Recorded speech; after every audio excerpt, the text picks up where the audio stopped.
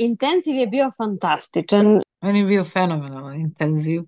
Zaista je vredelo. Bilo je odlično, bilo je fantastično. Super u jedne reči. Bio je predivan, stvarno.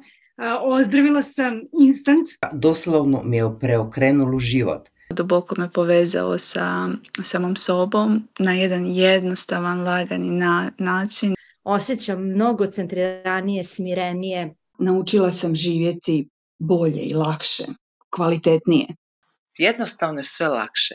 Neka bezrazložna ljubav i bezrazložna radost me je obuhvatila i nekako se prelivala na sve ljude koji su okolo mene. Jako mi se proširila opšta slika sveta oko mene i, i u meni. Jako sam srećna i zadovoljna. I dobila sam neke nove uvide.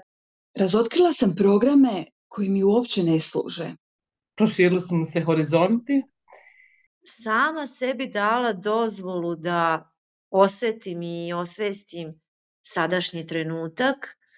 Poboljšali su mi se odnosi. Moj se život promijenio za 360 stupnjeva nekoliko puta. Deset godina patnje, deset godina nikako napred, sad odjedan. Bilo je, bilo je stvarno, ovaj, baš je bilo predivno. Mogu sada, ali stvarno reći da svoj život dijelim na život prije i poslije intenziva. Kad bi me neko pitao zašto da krene na ovako nešto, ja bih rekla zato što će sve da ti se otvori, zato što će život da postane radosniji, zato što sam odjednom dobila mnogo energije.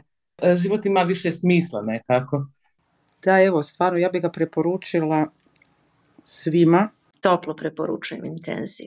Ako slučajno slušaš ovu poruku i misliš sebi ne bi, nemam ja toliko vremena, sada je pravo vrijeme. Nemojte puno misliti. Ja sam bila jedna od onih koja sam upisala intenziv zadnje jutro, zadnji dan prijave. I da to nisam učinila, mislim da bi još uvijek tapkala na mjestu.